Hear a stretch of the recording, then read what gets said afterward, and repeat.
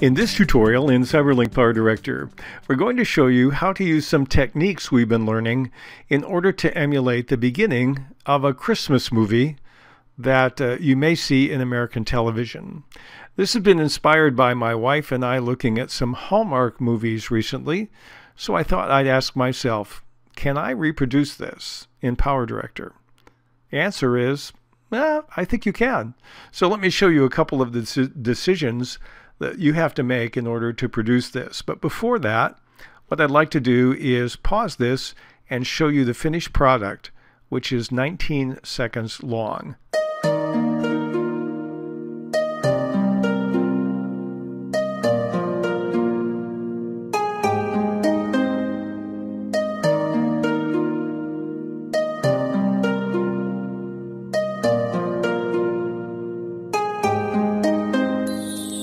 Okay, what I'd like to do now is show you some of the things that we did in order to get the product you just saw.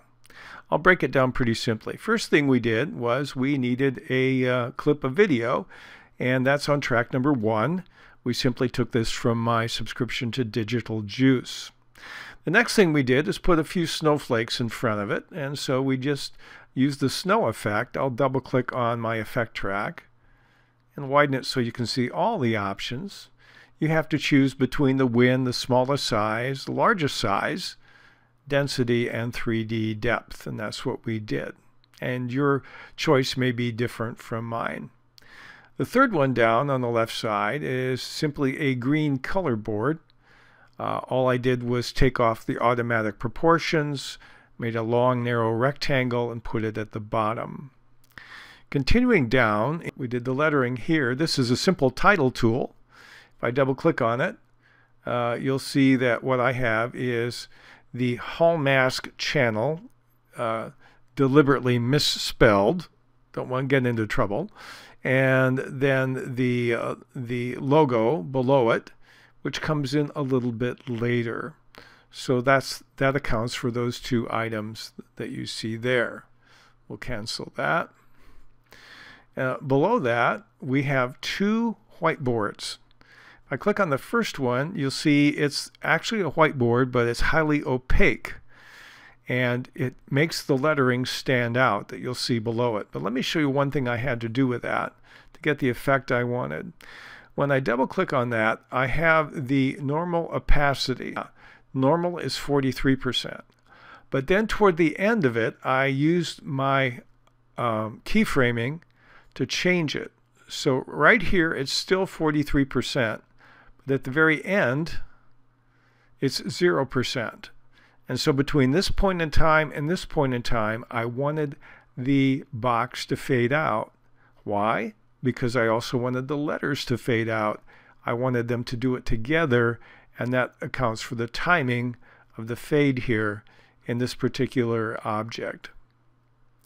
So that accounts for the first whiteboard. The second whiteboard is something that we have an entire lesson on.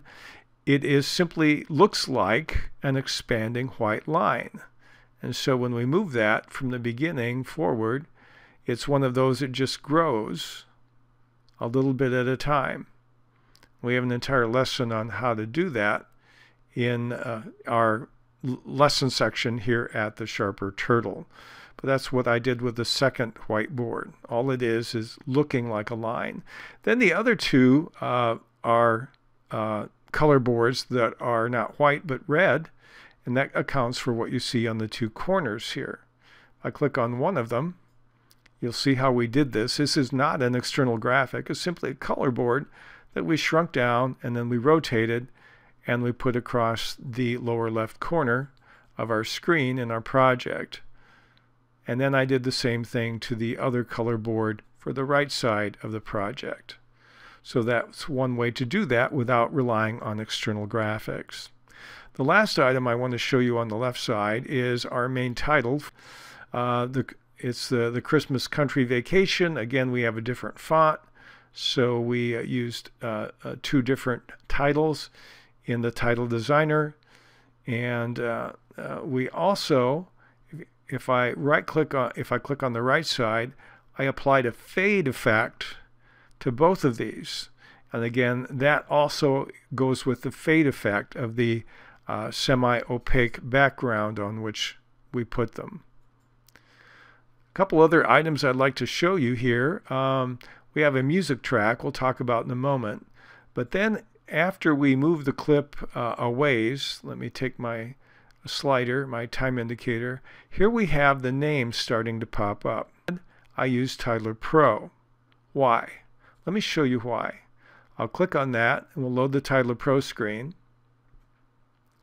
And here in Titler Pro, uh, I'm going to go ahead and go to the beginning and we'll play this and you see the first name coming in, the second below it, then the third replaces the first, and the fourth replaces the second.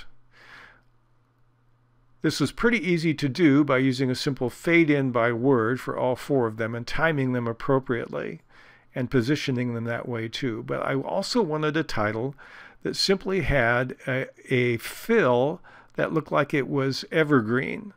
And so on each of these titles in my style area, I clicked, a, I selected a texture and went to a PNG graphic file, which was a file that looked like evergreen. And that's something I could not do in the regular title tool, but I can do it pretty easily in Titler Pro 1.0 or 1.5. So that's why we have this tool here rather than a regular title.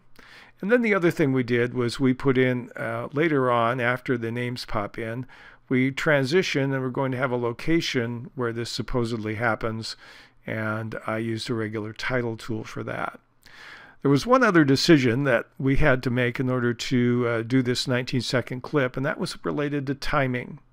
I pulled in this music again from uh, digital, digital Juice but the problem was the music was three minutes long. Well, it was no problem for me to split it at a uh, good point in in the sequence of the sound but the problem was it didn't split exactly at the length of the video. Um, I cut it at 19 seconds and 5 frames. My problem is my clip was originally 18 seconds long.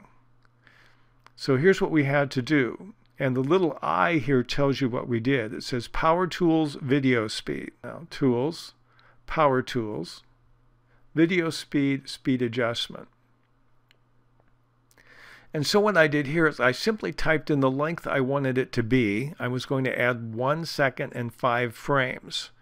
Now, since there's no audio with this, I don't have to worry about it looking or sounding bad. And since it's only uh, one second and five frames longer, you really don't notice the difference in terms of the motion of the people.